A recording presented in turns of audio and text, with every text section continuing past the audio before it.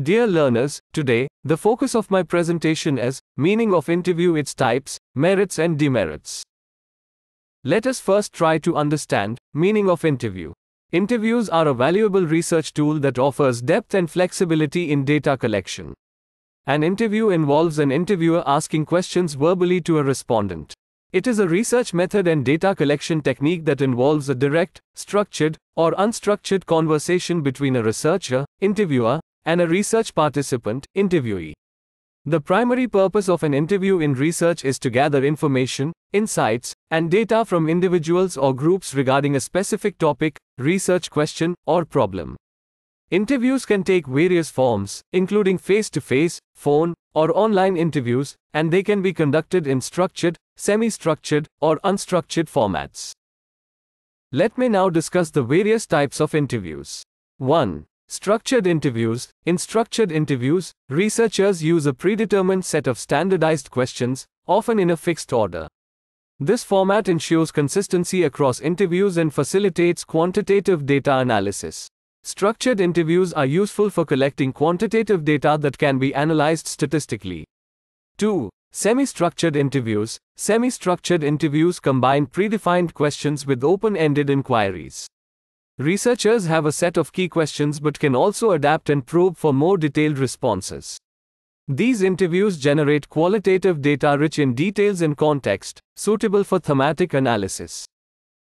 3. Unstructured interviews. Unstructured interviews are characterized by open ended questions that allow participants to freely express their thoughts and experiences. Researchers use unstructured interviews to explore a particular topic deeply and gain a comprehensive understanding.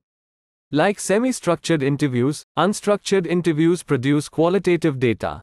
4. Group interviews, focus groups. Group interviews involve a small group of participants, typically 5 to 10, who engage in a discussion facilitated by a researcher.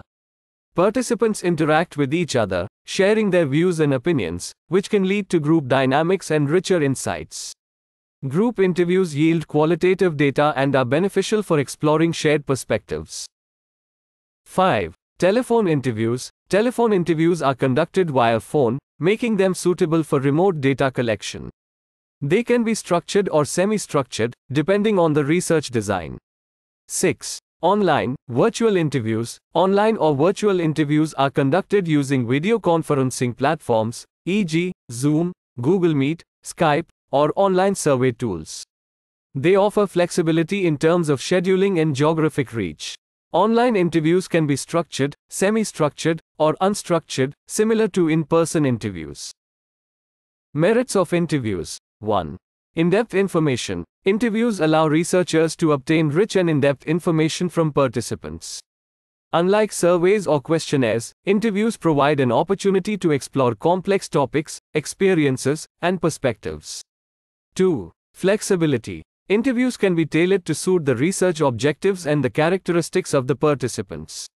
Researchers can adapt the interview structure and questions based on the context and the responses received during the interview. 3. Probing. Interviewers can ask follow up questions or seek clarifications, enabling them to delve deeper into participants' responses.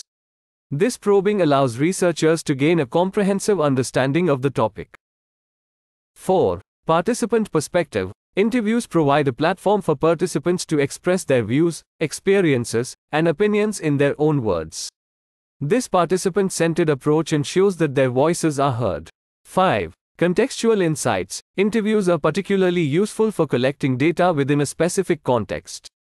Researchers can gather information about the environment, culture, and social dynamics that may influence the research topic. 6. Trust and rapport. Building trust and rapport with participants is essential in interviews. Establishing a positive relationship can encourage participants to share sensitive or personal information, leading to more authentic data. Demerits of interviews 1. Time consuming. Conducting interviews can be time intensive, especially when working with a large number of participants. Transcribing and analyzing interview data also requires significant time and effort.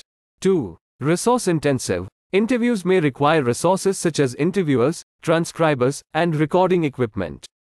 Additionally, conducting interviews in multiple locations can incur travel expenses. 3. Subjectivity. Interviews are susceptible to interviewer bias, where the researcher's presence or demeanor may influence participants' responses. Researchers must strive to minimize such bias. 4. Limited generalizability. Findings from interviews are often context specific and may not be easily generalizable to a larger population. The small sample size and qualitative nature of interviews can limit their applicability. 5. Response variability. Participants may provide different responses based on factors such as their mood, comfort level, or the timing of the interview. This variability can make it challenging to establish consistency in the data. 6. Ethical concerns. Researchers must consider ethical issues related to privacy, informed consent, and confidentiality when conducting interviews, especially when discussing sensitive topics. Thank you. Don't forget to subscribe to my YouTube channel, Education and Teacher Education, at Shouking Bilal.